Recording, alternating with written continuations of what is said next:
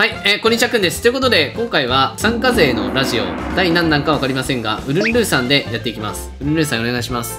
お願いします。ウルンルーさん、なんか話すの久しぶりだな。あ、そうですね。確かに。はい。はい。ちょっと今回はリスナーからいろいろ聞いてるので、ウいルンルーさんにいろいろ聞いていきたいと思います。はい、お願いウルンルーします。っていつ知ったの？くんキッズっていうか、になったの？知と。った経緯と参加しようと思ったきっかけがめちゃくちゃ聞かれてて、まあ、みんなそうなんだけど。まず2017年の10月にえ、古っ。偶然フォトナの天空 えー、マジで？みたいなのを他のこうゲーム実況者の人とかをこうちょいちょい見てて面白いなって。あそれをこう検索してたらたまたまくんさんの動画にヒットして。ーザリガニルートか。マブニャンさんの声が好きで。当時やってたもんね。マブニャンの声にこうあ惹かれてしまってそこがが入り口だったんですよ私。あーじゃあもう2017の界隈 PUBG とかやってた頃からってことか。そうです。入ったのはフォトナで。でもその周辺からもう遡って PUBG の最初の投稿した頃の動画からもうほぼほぼ見てて。うんうんなんでマイクラよりかは PUBG フォトナですね。すごい。はいなんかちゃんとなんかいいルートだね。なんか 王道王道ルートというか割れてないルートだねなんか。そうなんですよ実は。50人クラフト見ててえっと楽しそうだったんで みたいな感じかなと思ったけどあそうなんだ。で50人クラフトは知ったのっていうかちゃんと見始めたのは1期が始まってからですね。ああまあそうだよね。結構サブコンテンツみたいな感じだったから。あそうね。なんだ。えじゃあ建築とかがマイクラできるようになったのってどういう経緯なの？あマイクラは買ったのは2018年の4月なんですよ。その当時付き合ってた人がはい？あのーやっててやんないかって誘われて。男の影響っすか？あそういわゆる。そうですね。あー。ななるほどあでも50人クラフトよりも先に私田中クラフトを見ててはいはいはい。見て、ああ界隈でやってたマイクラね。そうです。あのでそれを見て、マイクラ楽しそうだなって思って。なるほどなるほど。そうです。ボタンのことブットンって言い出すやつでしょ？田中圭 あ、ブットン。トンってなんすか？ブットン出てくる。ブットンボ。ボタンじゃなくてボタンじゃボなくてタンだろそれそうそうそうそうブ。ットン俺でもわかるあの英語が、あのー、わかんなすぎて、ボタンのことぶっとんって言い出す。めちゃくちゃ好きでもう何回も見ましたね動画5パートしかないのになるほど、なるほど。でちょっと、そうなんです出自については分かったんで、あのーはいちょっと、トミー・ジュニアをが好きっていう風なのは有名だと思うんだけど、初めてトミー・ジュニアを認識したのはどの動画？初めて認え識し、たのは。なんか好きになったのはどの動画みたいな？わあでもにまず認識したのは一期のあのオープニングですかね。チタンくんとトミーくんって最初2人外れて。あー、うんうんうん。あそこで。あー、あそこでなんかおるなみたいな。そうですね。で可愛いなってあスキンがスキンが可愛いな。スキンが可愛いなって思ったのはあ覚えてるのだと一期のラブホを作ったあたりとかですかねあー、あの辺か。細かくなんかこうスキン変えたりとか動きが可愛かったりとかなるほど、なるほど、なるほど。あの辺でクソ懐かしいな。スキンコロコロ変えるんだったらこの人もいるけどね、み左側。この人は可愛くない？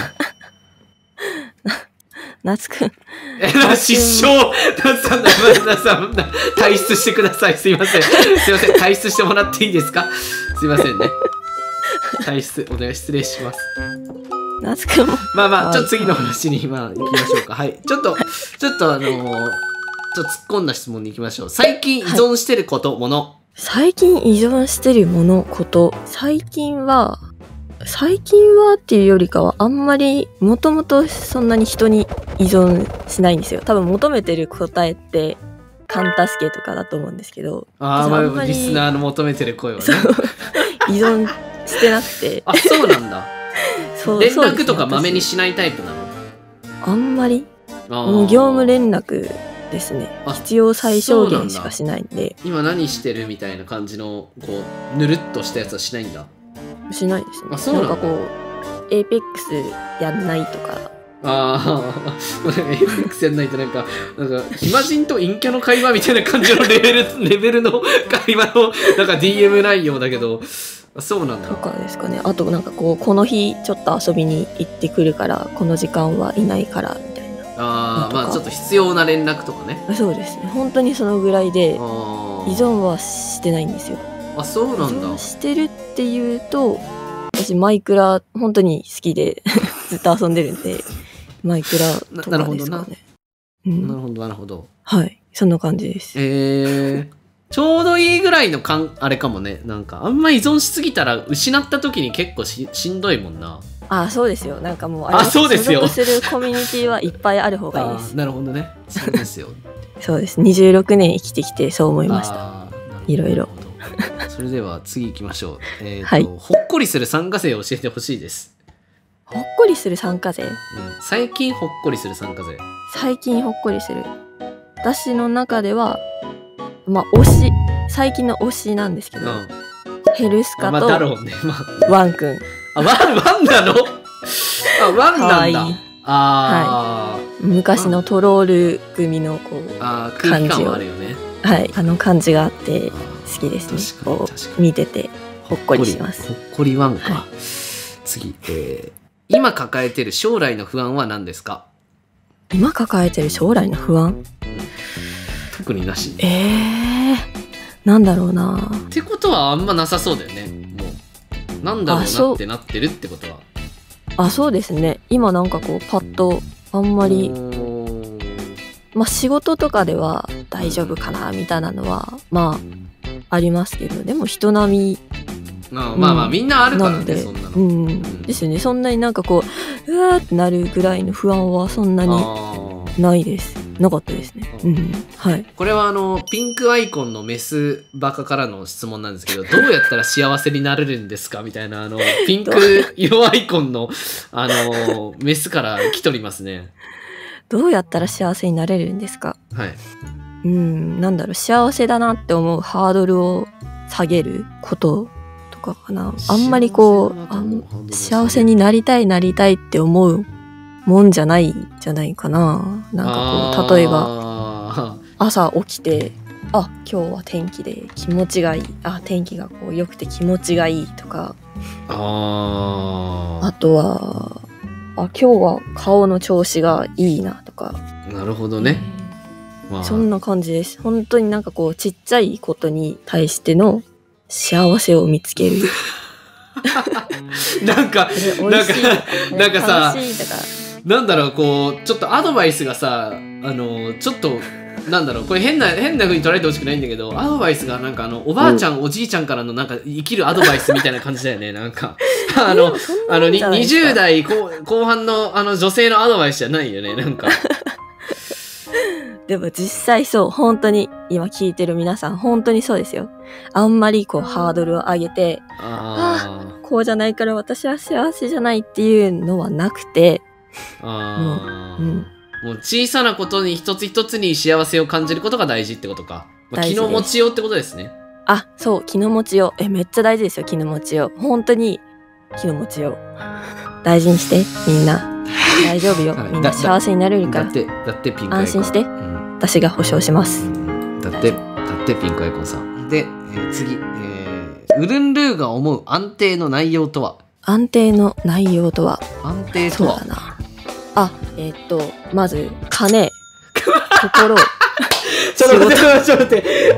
あのさ、あの、なんか、ちょっと今、なんかすごいちょっと小さな晴れてるなとか、なんか今日は気持ちがいいなってことが大事だよって言ってた言ってたら、大事なものはって言ったら、え金って。まずは金。まあまあ、確かにね、まあ、こう衣食足り三てね。本柱があってうんどれか一つ欠けても二つが安定してれば大丈夫だと思ってるんですよああ、ちょっとね、もう一回整理してください。金と？金心仕事金、心、仕事。まあ金と仕事。学生の方はまあ、勉強みたいな。あー金心仕事。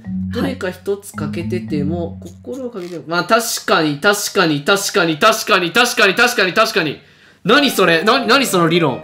確かにそうだわ。いや金イコール仕事でもないよねそうなんですよ。お金が少なくても仕事楽しかったらうんうんうんうん。大丈夫だし、うん。でもお金もないし仕事も楽しくないとしんどいんですよね。あー確かに。金イコール仕事じゃないよね。仕事してたらなんとなくわかるけどその感じってそうなんですよ。金があっても仕事楽しくないとまあ、心があればな、まあ、確かにねその三本柱の話ってな 何それ？どっからの話なの？それ。ウルンルー理論なの？これはそれ。